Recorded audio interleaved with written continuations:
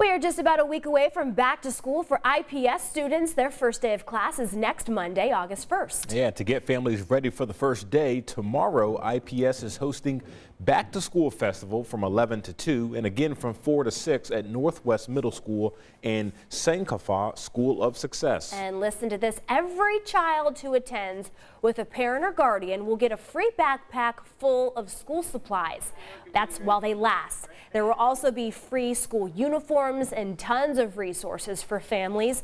Organizers say you can also get those back to school vaccines at the festival.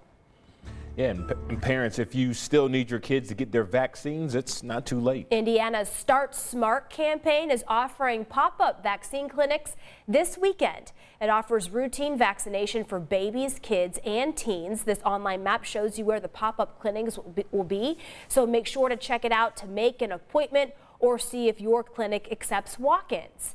And by the way, health experts say kids can get their COVID-19 vaccine at the same time as all those routine vaccinations. Yeah.